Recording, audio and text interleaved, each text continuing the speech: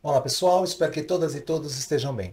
Eu sou Marcos Neira, professor da Faculdade de Educação da USP e membro do Grupo de Pesquisas em Educação Física Escolar, que é um coletivo majoritariamente composto por professoras e professores que atuam na educação básica, realizam experiências pedagógicas e produzem conhecimentos sobre a perspectiva cultural da educação física, também chamada Currículo Cultural da Educação Física ou simplesmente Educação Física Cultural. E esta é a 14 e última videoaula das disciplinas Fundamentos Teórico-Metodológicos do Ensino e Educação Física, um componente curricular obrigatório do curso de Licenciatura em Pedagogia, e Metodologia do Ensino e Educação Física 2, um componente curricular obrigatório do curso de Licenciatura em Educação Física, ambos oferecidos pela Universidade de São Paulo. E o tema desta videoaula é Princípios Ético-Políticos do Currículo Cultural de Educação Física, parte 2 é a continuidade da discussão que nós iniciamos na semana passada. Como vocês já perceberam, parece fácil, mas não é. A discussão do princípio e, sobretudo, a identificação do agenciamento do professor e da professora, ela é sempre complexa. Nós todos somos agenciados e agenciadas, vocês já perceberam pela discussão que fizemos a respeito do pensamento deleuze guattariano, mas nem sempre conseguimos perceber muito bem né, aquilo que está nos agenciando e, sobretudo, quando pensamos na prática pedagógica. Daí, ter apresentado para vocês na semana passada como que essa discussão foi se estabelecendo mesmo no interior da teoria curricular cultural da educação física.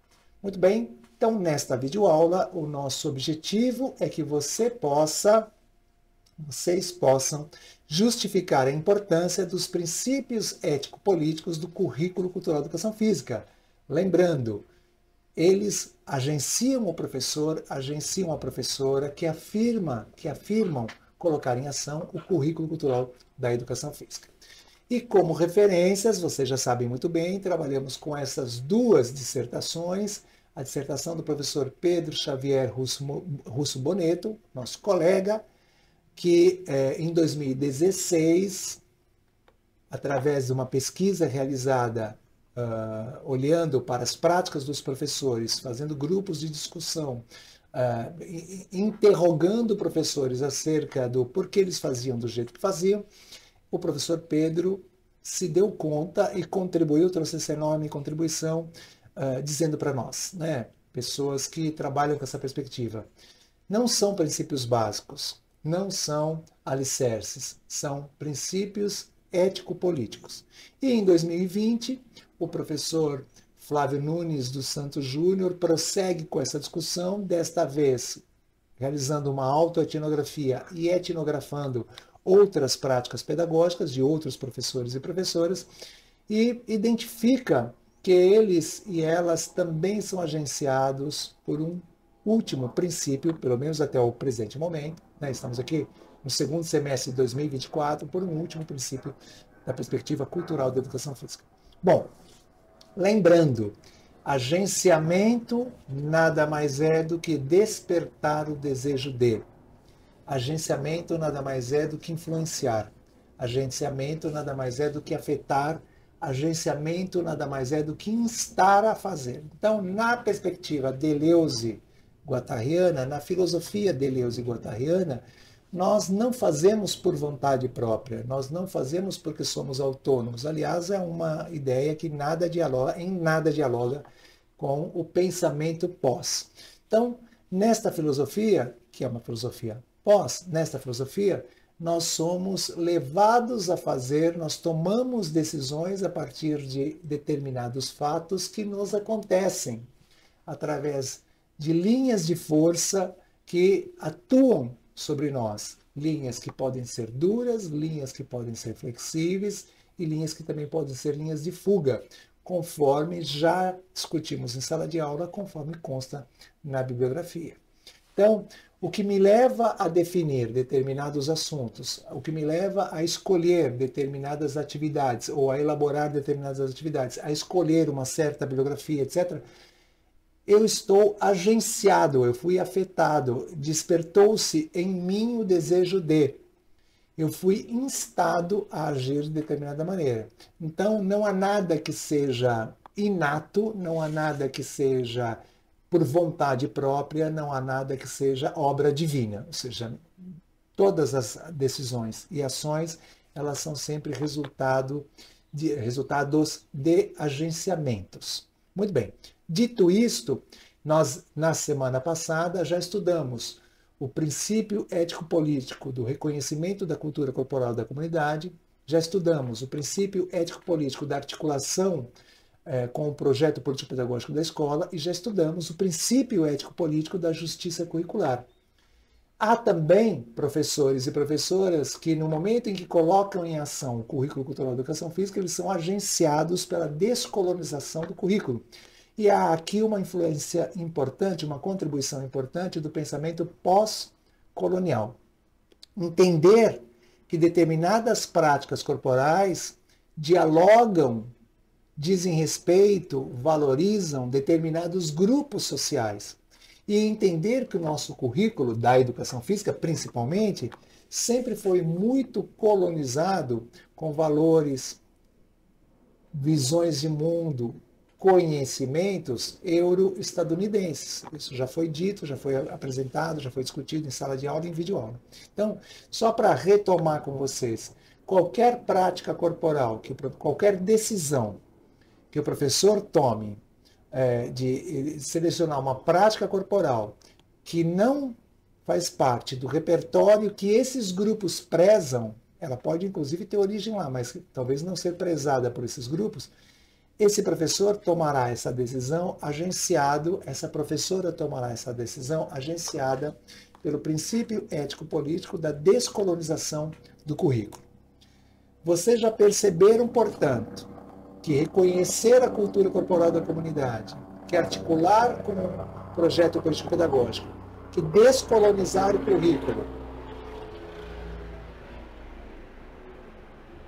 e que a justiça curricular são agenciamentos que influenciam bastante na definição das práticas corporais. Mas não só. É, o professor e a professora, ao incorporar durante as aulas os saberes das crianças, esse professor ele também está agenciado pelo reconhecimento da cultura corporal da comunidade ou uma contribuição de alguém da comunidade, etc., e, e, isso aconteceu nas aulas, não na definição do tema. Isso aconteceu na organização e desenvolvimento das situações didáticas, só para a gente fazer essa ressalva. Mas é importante lembrar que agora nós vamos falar de princípios que têm como foco central, que influenciam a maneira como a professora organiza e desenvolve as salas de aula. Ou seja, é, em termos coloquiais, né, como a professora dá aula como a professora dá aula, ou seja, como ele organiza as situações didáticas, como ele pensa as situações didáticas, o que acontece durante as situações didáticas. É, o professor e professora que colocam um currículo cultural em ação são bastante agenciados pela rejeição ao daltonismo cultural, pela ancoragem social dos conteúdos e pelo favorecimento da enunciação dos saberes de ciência. E o que é rejeitar como esse professor é levado a rejeitar o daltonismo cultural? Na medida em que ele ou ela entendem que as pessoas lidam com os saberes de forma diferente. As pessoas, as crianças, os jovens, os adultos, os idosos, as crianças, ah, os bebês e as bebês que frequentam a educação básica, eles possuem repertórios diferentes. Eles são mobilizados, esses repertórios são mobilizados de forma diferente. Então, esse professor, essa professora não pode esperar os mesmos efeitos do seu trabalho, muito menos é, promover aulas, atividades que sempre querem tratar todos da mesma maneira. Ou seja, sempre são as mesmas atividades porque todo mundo faça da mesma maneira. E vocês sabem que essa é uma prática que caracteriza outras perspectivas do componente.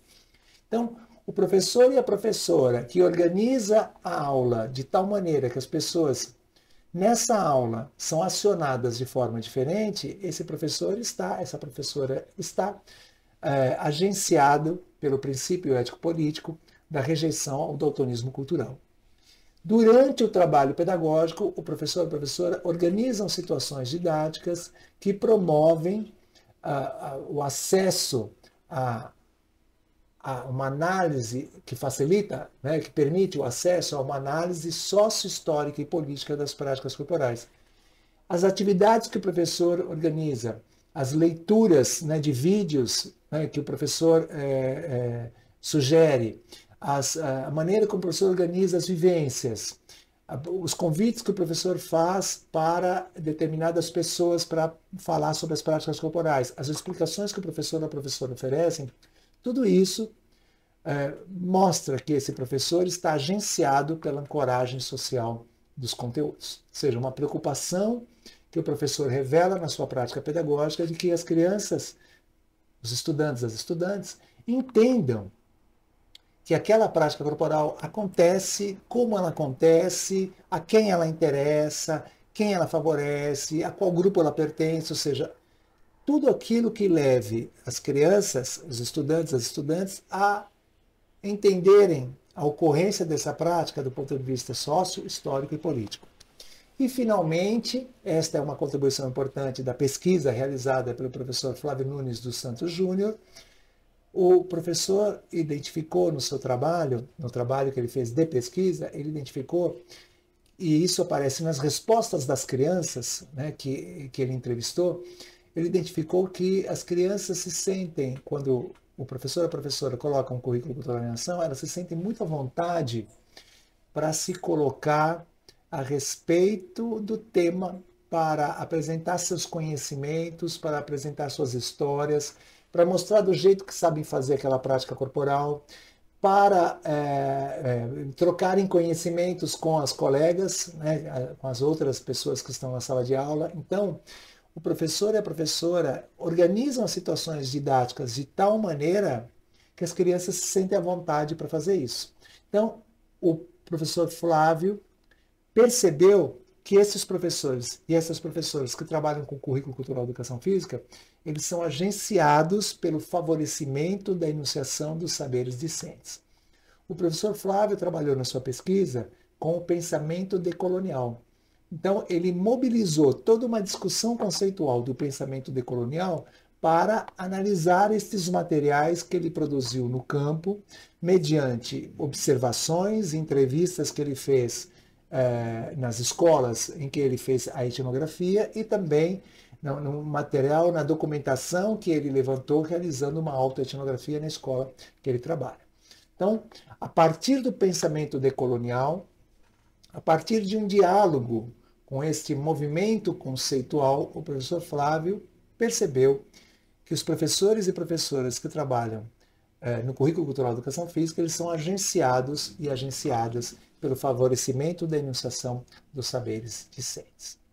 Muito bem, chegamos ao final do nosso curso, claro, ainda temos a aula presencial, mas chegamos ao final é, das videoaulas. Eu já quero registrar aqui a minha alegria de ter trabalhado com vocês, né, com estas duas turmas, neste primeiro semestre, nesse digo, neste segundo semestre de 2024. Podemos dizer que foi um, um semestre bem agitado, bem cheio de né, acontecimentos interessantes. Ao longo do semestre, nós fomos agenciados por determinadas situações, você já sabe muito bem sobre o que nós estamos falando, e nós conseguimos concluí-lo, e penso eu, do meu ponto de vista, de maneira muito satisfatória. Mas claro que eu aguardarei a avaliação de vocês para né, conhecer também o ponto de vista de vocês acerca dessa experiência.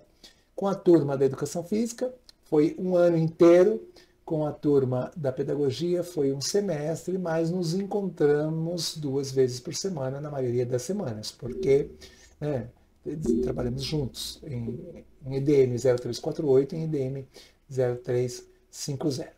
Então, nos encontramos na próxima semana para a nossa nosso último encontro. Fiquem bem, se cuidem muito. A turma de terça-feira é da pedagogia, a turma de quarta-feira da educação física na nossa, nas nossas respectivas salas de aula. Até lá!